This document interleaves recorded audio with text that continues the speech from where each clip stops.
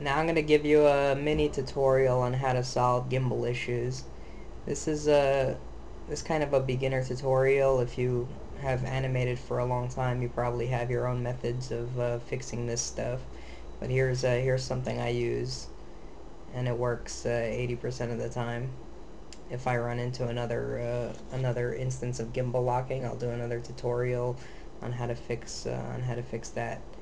But for now, we could uh, see this animation. And I went uh, from blocking, from stepped blocking into uh, into spline. And now between this pose right here these two poses you can see the arm flips out. And if you wanna if I'm scrolling through the keys this is what I want. I want the same uh, the same pose but it doesn't know how to uh, get from from uh, one key to another. So usually it's a stray key and I'm gonna go into my graph editor and get this uh, get this checked out. I'm gonna open up my graph editor here and let's go into the rotation. So if you look at rotation Y you scrub through it and you could see that it goes a long distance. It goes a long distance here and then starts coming back. So we're gonna look at uh, we're gonna look at the difference here and it goes from negative 89 degrees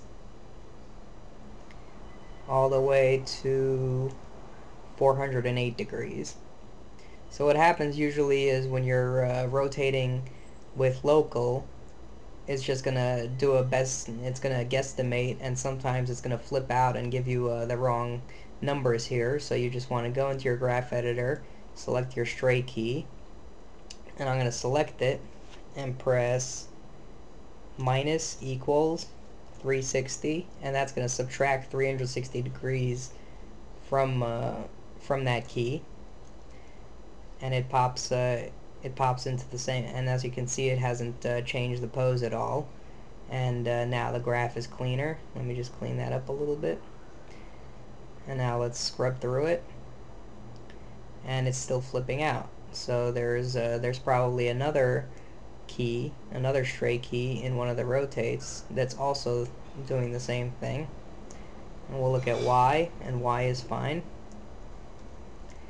and we'll look at Z and here's the stray key and we'll do exactly the same thing but we'll have to uh, raise it by 360 degrees so we'll select that key and go into uh, this channel box and type plus equals 360 and that snaps it up 360 degrees. Now let's uh, fix that a bit.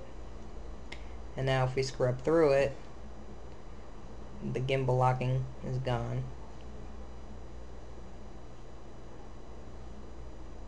A lot of people try to uh, try to completely uh, bypass uh, bypass gimbal locking by going or just these gimbal lock errors by going into uh, the gimbal rotation mode but oftentimes well the point of gimbal locking is that it locks uh, your two axes and then you can't rotate uh, rotate the hand or whatever object you're selecting.